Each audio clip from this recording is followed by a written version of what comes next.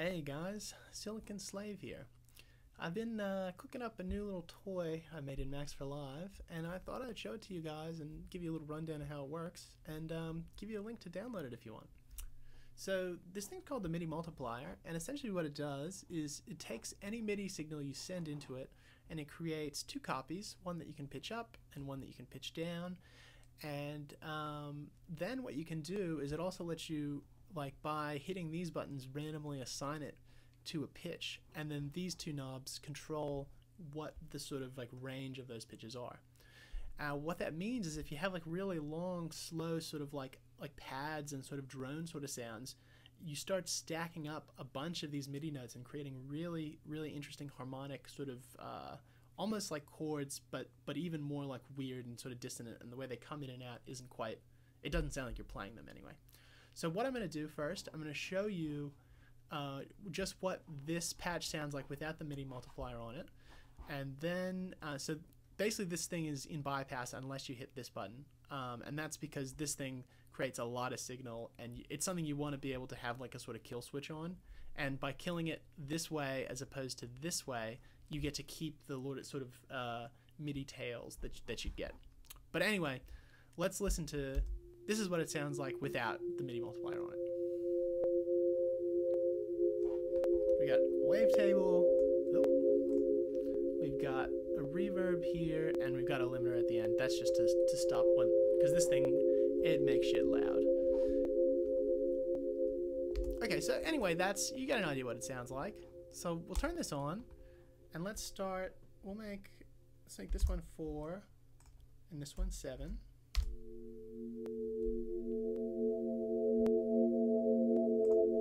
Start adjusting. Let's go six.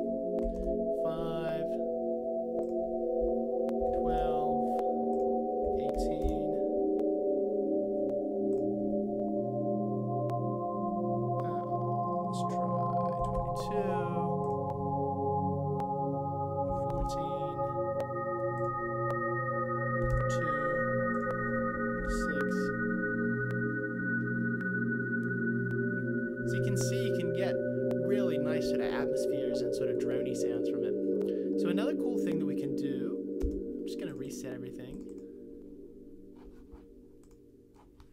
Um, so when we hit these buttons, it will set the pitch to a random sort of value between a range of numbers of our choice and a range of semitones basically.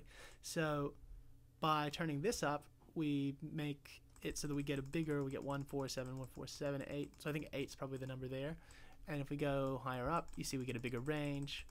And what this means is we can sort of just like play with these knobs and just press these buttons randomly and you'll get really nice sounds out of it. And if you take that info and then record it to a new MIDI channel or record it to audio, you can then use that information to make something really cool.